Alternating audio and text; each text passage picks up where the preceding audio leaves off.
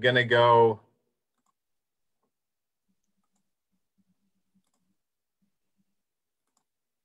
Yeah. Okay. Okay, you're on. Okay. So you count three, Go- one, or just Yeah, go? go, go ahead. Okay. Um, hello, this is uh, Enrique Gonzalez Mendez. I'm a family physician uh, in the Sonoma County. Um, esta es la sesión informativa del lunes 7 de diciembre del año en curso. Eh, la doctora Sundari Mays uh, tiene estas sesiones para mantener informada a la población de esta pandemia que está causando tantos estragos. Muchísimas gracias por acompañarnos. Eh, como dijimos la semana pasada, en la actualidad no estamos bajo una orden de permanencia del domicilio ah, aquí en el condado de Sonoma, pero seguimos en una especie de estado de a ver qué pasa en las próximas semanas, ahora que nuestra situación está vinculada con la de todos los condados del área mayor de la bahía. Me gustaría tomarme un momento y aclarar algo de la confusión en torno a la capacidad de las unidades de cuidados intensivos, um, conocidas como ICU en inglés, UCI en español. Dado que esto se ha convertido en una métrica que determina cuando nuestra región se incluirá en una orden de permanencia en el domicilio. La orden de permanencia en el domicilio de ninguna manera es un arresto domiciliario, ¿eh? que quede claro. Sí, ha quedado claro que hemos estado calculando la disponibilidad de camas de nuestras unidades de cuidados intensivos de manera diferente a otros condados. Parte del problema se relaciona con la forma en que los hospitales informan al Estado sobre las camas disponibles en las unidades de cuidados intensivos. Para nosotros está claro que todos los hospitales informan de la misma manera, por lo que la semana pasada el Estado mostró que solo teníamos tres camas disponibles o vacantes en el condado, pero rápidamente descubrimos que no era así.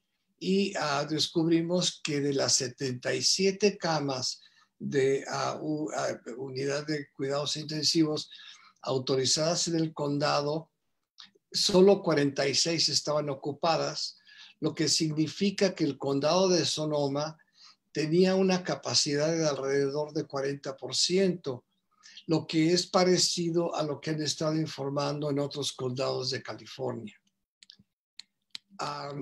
Eh, estoy, eh, sí, estamos tratando uh, con el Estado y nuestros colaboradores en el sistema hospitalario para tipificar cómo se rastrea la capacidad de las unidades de cuidados intensivos y así poder alinearnos con las métricas estatales. En resumidas cuentas, como no estamos viendo los mismos aumentos dramáticos en los índices de casos que están ocurriendo en gran parte del estado, hemos decidido no unirnos a los cinco condados y a la ciudad de Berkeley en implementar de inmediato la orden regional del estado de permanencia del domicilio. Seguimos la guía del estado por ahora y haremos cambios a medida que se eh, desarrollen las tendencias y lleguen los datos más recientes. Dicho esto, la orden de permanencia en el domicilio se activará cuando la capacidad de la, las unidades de terapia eh, intensiva en nuestra región baje a menos del 15%. El Estado ha dicho que en el área de la bahía, incluyendo el condado de Sonoma, podría alcanzar esta marca a, medi a mediados de diciembre, que es en una semana, 10 días. Una vez activada, la orden permanecería vigente por lo menos tres semanas, pero a partir de hoy la capacidad de las, de las unidades de terapia intensiva para el área de la bahía es de 25.7%, que eh, es muy superior al límite de 15% que provocaría esta clausura más amplia. de todas formas, es importante recordarles a todos que el condado de Sonoma todavía se encuentra en el nivel morado, que es un nivel restrictivo del Plan Estatal para la Protección de la Economía. Y todavía estamos bajo un toque de queda estatal que prohíbe los viajes no esenciales entre las 10 de la noche y las 5 de la mañana todas las noches.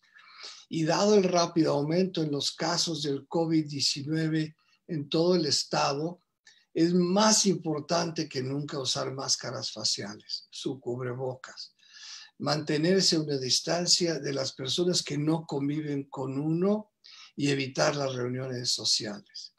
Quiero recordarles a nuestros paisanos latinoamericanos que ah, en esta época hay algo que llamamos eh, Guadalupe Reyes, que son la fiesta de la Virgen de Guadalupe el 12 de diciembre, las posadas, que son nueve, del 16 al 23, luego la Nochebuena, la Navidad, el Año Nuevo y los Reyes. Desgraciadamente, no vamos a poder celebrar como estamos acostumbrados porque esta pandemia nos está afectando muy, muy seriamente. Eh, la doctora Mays dice, ahora quiero responder dos preguntas que se enviaron durante la reunión informativa comunitaria el miércoles de la semana pasada. La primera pregunta fue si el condado está usando pruebas de PCR, que es una eh, reacción en cadena de la polimerasa, es un tipo de examen. La gran mayoría de las pruebas de COVID-19 administradas en el condado son pruebas de diagnóstico por este PCR eh, y eh, no son las más rápidas y menos, y menos sensibles de antígeno, también las llamadas pruebas rápidas. Nuestra comunidad realmente ha asumido su responsabilidad y ha respondido a la necesidad de un mayor número de exámenes, de pruebas de laboratorio. Ah, y a pesar de este gran aumento, todavía estamos recibiendo eh, los ah, resultados eh, de laboratorio en 72 horas.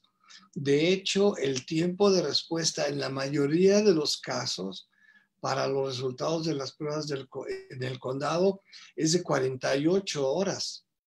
Incrementar el número de pruebas nos ha permitido detectar rápidamente, apoyar a las personas a medida que se van aislando y seguir observando a los contactos cercanos. Todos estos pasos ayudan a detener el contagio del virus.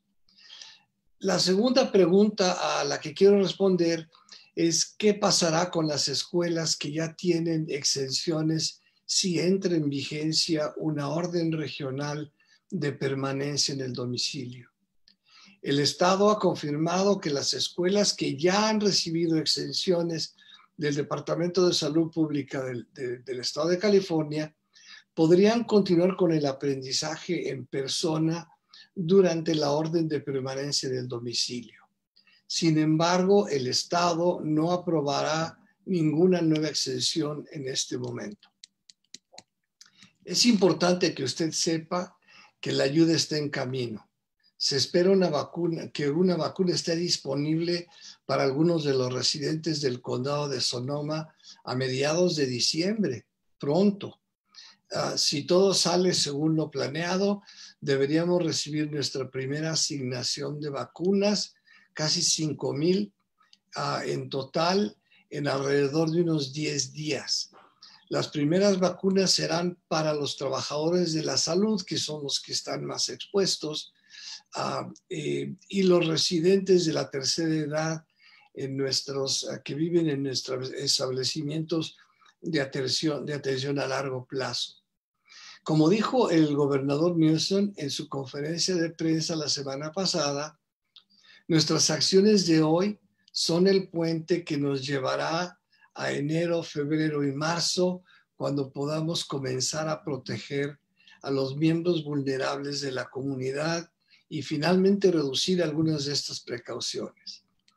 Ah, mientras esperamos a que lleguen las vacunas, debemos ser pacientes, por favor, considerando y sobre todo eh, precavidos al seguir usando la, el cubreboca, la mascarilla facial, manteniéndonos a seis pies, dos metros de distancia de los demás y no, no reunirnos en grupos grandes.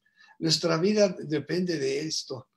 Ah, gracias y uh, cuídese, por favor. Es un año muy difícil, muy complicado y tenemos que actuar uh, de acuerdo a los consejos de salud pública que no tiene ningún otro interés más que el bienestar de nuestras familias. Um, gracias.